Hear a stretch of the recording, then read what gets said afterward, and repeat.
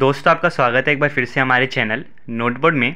दोस्तों, आज की इस वीडियो में हम अकाउंटेंसी क्लास इलेवेंथ का जो एनुअल एग्ज़ाम था मॉर्निंग शिफ्ट का वो देखने वाले हैं, ठीक है?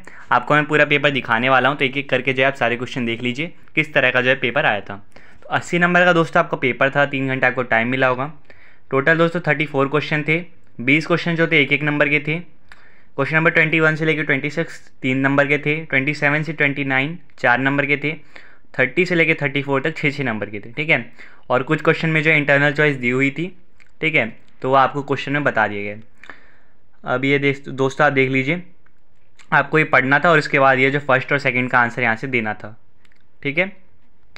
हिंदी मीडियम इंग्लिश मीडियम दोनों में पेपर है। जैसे थर्ड क्वेश्चन है, एक नंबर का है, लेकिन इसमें चॉइस है, ठीक है? आपको मैं दिखा देता हूँ एक एक करके स्क्रॉल कर दे रहा हूँ पेपर देख लीजिए। ठीक है, आप देख सकते हैं दोस्तों। ये एमसीक्यू वाले क्वेश्चन है बीस नंबर के। ठीक है, ये फोर्थ क्वेश्चन में भी चॉइस है। फिर फिफ्थ सिक्स सेवन्थ इसमें कोई चॉइस नहीं है। सेवन्थ एट्थ में भी फिर चॉइस है दोस्तों। इंग्लिश मीडियम में देख लीजिए fifth question six seventh question फिर एट्थ क्वेश्चन जिसमें चॉइस थी। ठीक है एट्थ में फिर नाइन्थ जो क्वेश्चन है सर्शन रीज़न वाला, कथन कारण वाला, फिर टेंथ में चॉइस है। यानी मोस्टली जो क्वेश्चन है उनमें चॉइस दे रखी है आपने। ठीक है? इंग्लिश मीडियम में आप देख लीजिए। ये एसोसिएशन रीज़न वाला है, फिर ये चॉइस वाला क्वेश्चन है टेंथ उसके बाद eleven question number twelve twelve में भी फिर चॉइस है दोस्तों। फिर थर्टीन है आपको दो कथन दिए गए हैं, फिर उसके अकॉर्डिंग आपको सही जो ऑप्शन बताना है, कौन सा होगा। ठीक है इंग्लिश में फिर क्वेश्चन देख लीजिए आप। ट्वेल्थ में चॉइस थी। थर्टीन जो स्टेटमेंट वाला क्वेश्चन है। ठीक है, फिर दोस्तों फिफ्टींथ सिक्सटीन सेवनटीन्थ में फिर चॉइस है। ठीक है इसमें फिलअप आपको बताना था। एटीन फिर नाइनटीन एसोसिएशन रीजन वाला है। फिर इंग्लिश मीडियम में आप देख, दोस्तों देख लीजिए। ठीक है, कुछ क्वेश्चन के जो आंसर यहाँ पे टिक कर रखे हैं, ठीक है? तो दोस्तों कंफर्म नहीं है कि सही होंगे या नहीं, लेकिन हाँ चांसेस हैं कि सही हो सकते हैं, ठीक है? फिर नाइनटीन एसोसिएशन रीजन वाला क्वेश्चन है।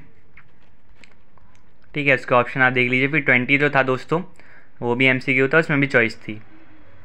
फिर ट्वेंटी वन जो है, तीन नंबर का क्वेश्चन है।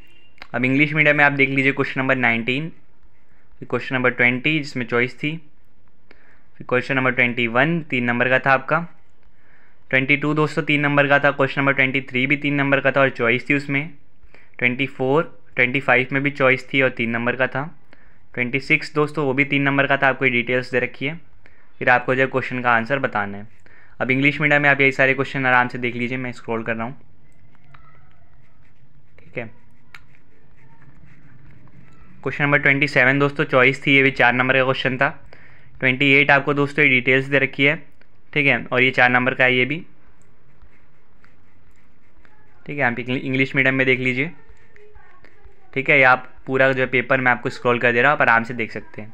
क्वेश्चन नंबर ट्वेंटी नाइन दोस्तों, चार नंबर का था, इसमें भी ये सारी डिटेल्स दे रखी है। थर्टी जो है छः नंबर का था चॉइस थी आपके पास। ठीक है आप क्वेश्चन आराम से देख लीजिए। ट्वेंटी नाइन दोस्तों, ये आप देख सकते हैं।